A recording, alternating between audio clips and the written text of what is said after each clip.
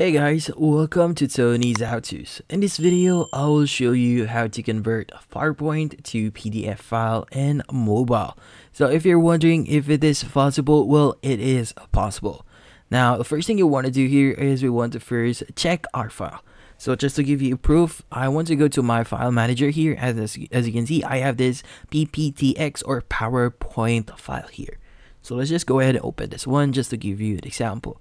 And here we want to actually convert this one. So let's just go back.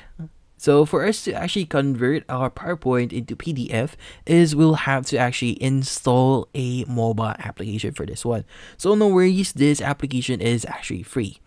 Now here in Google Play, you want to search for the following which is Microsoft 365 and you want to install the Microsoft 365 Office there. Now it's going to take a few seconds because it's around 100 MB but once installation is complete just click on open on it.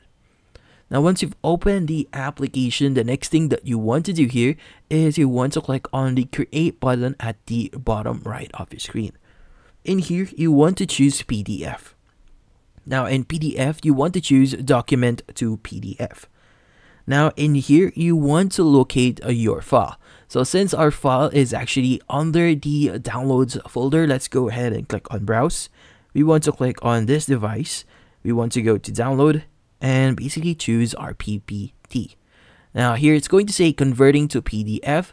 So let's just wait for this to convert. Now, once the conversion is now complete, the only thing that you need to do here is review it.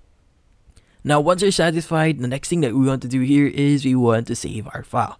Now in our file, you want to tap anywhere on your screen here and this section will now appear. So if you want to save this one, you need to click on more. And from here, you need to click on save as.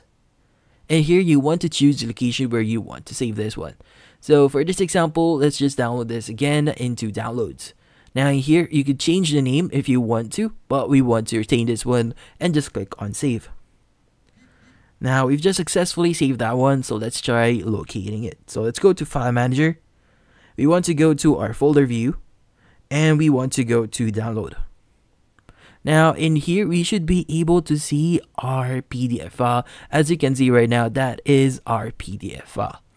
Now, the only thing that we need to do here is you just need to open this up and your PDF file is now ready and that's about it. So thank you for watching. If you have any questions, feel free to ask in the comment section. If you enjoyed this video and found it helpful, you could use the link in the description to subscribe. See you in the next video.